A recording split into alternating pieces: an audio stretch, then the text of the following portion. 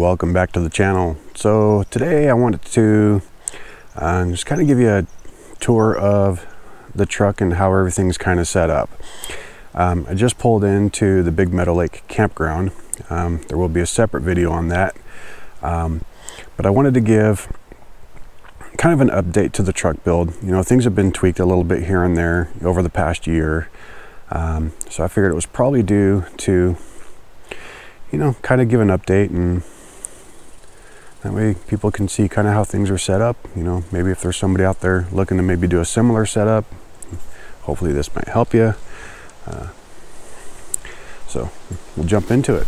All right, so starting on the outside, there's really nothing much to the outside. We just got two 100 watt Renogy uh, solar panels mounted right up on the roof um, and mounted into the factory uh, Yakima rack rails that come on the topper. And then up in the front here, obviously this is just the driver's compartment. Um, not a whole lot gets put there because I've got to be able to sit and drive. But right behind the driver's seat, you have the bathroom, the gym bag, Got the regular clothing bag with all my week's worth of clothing in it. The laundry bag, which contains all the dirties. And then back behind the tote here, we have laundry soap. We have a bag that contains uh, basic essentials, toilet paper, paper towels, trash bags, replenishment hygiene products. There's a stick of deodorant in there we got the laundry soap um, another bag and that's a jacket lightweight jacket. Um, down under there is going to be where the drone is stored in its own bag as well as all of its accessories. And into the rear passenger side we have the refrigerator.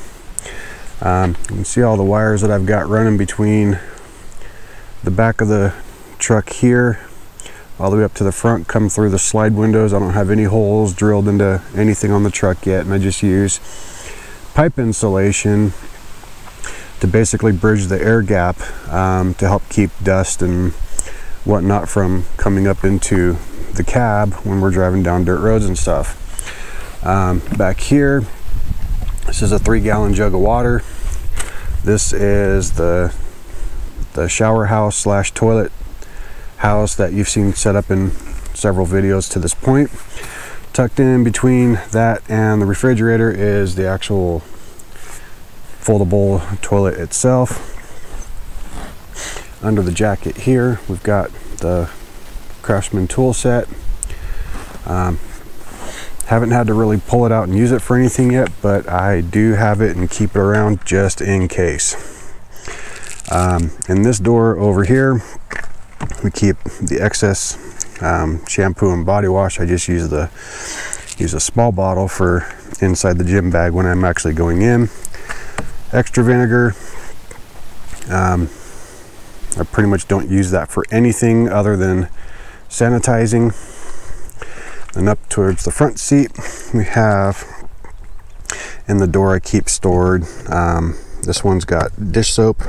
This one's got the vinegar sanitation rinse. This is the remote sensor for the weather station that's in the back of the truck. So basically once I'm parked up for the weekend, I can just kind of set this out somewhere and I'll know from the inside of the truck precisely what the temperature is outside of the truck. The front seat is more or less just kind of, I guess, junk storage, more or less. Um, plasticware bowls for you know if I want to have cereal in the morning. This is basically how the truck is more or less set up when I'm not camped out somewhere. So let's just keep that in mind um, while we're going through the tour.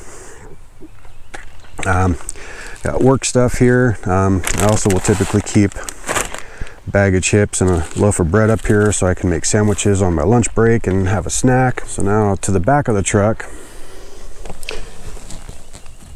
to the back of the truck, up here we have our primary solar generator, which is the bigger one up towards the front, and then the backup solar generator, which sits to the side right beside it.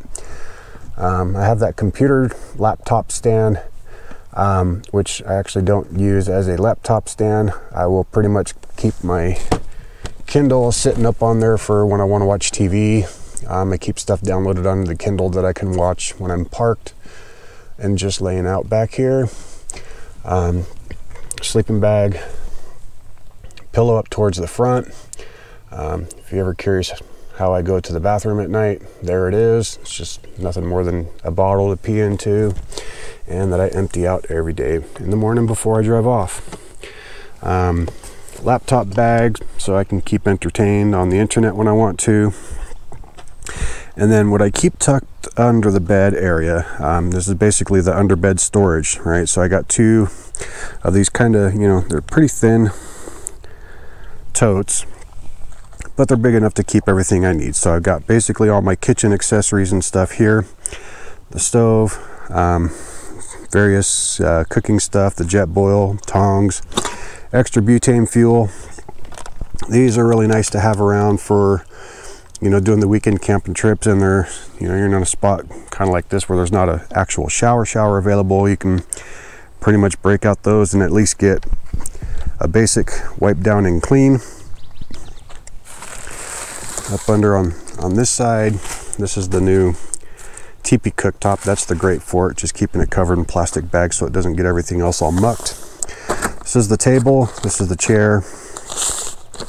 We have the hatchet, some extra isobutane fuel. Underneath all of that is the side, the basically the lightweight tarp that we will set up for the side awning when we want.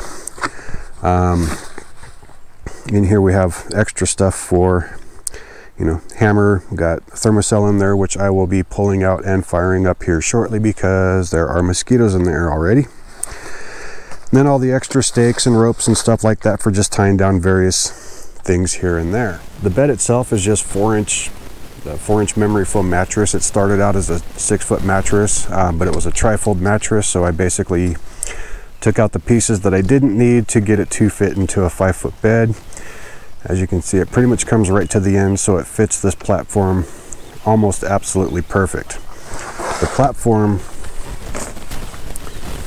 is being held up. You can see those are uh, two by six boards um, that basically run from each side of the bed to the other side of the bed. Um, the Tacoma beds, uh, at least the five foot bed, has notches that actually fit these almost perfectly. So it really made building a platform rather easily. And then other than that, it's just uh, it's just three quarter inch particle board.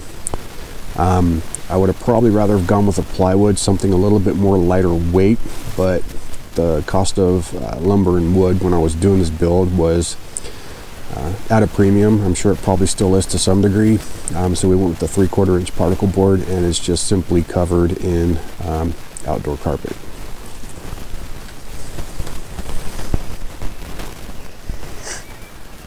So as you can see, it's a very, very basic build. Um, I pretty much have everything I need to function on a day-to-day -day basis.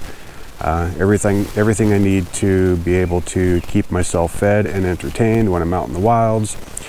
Um,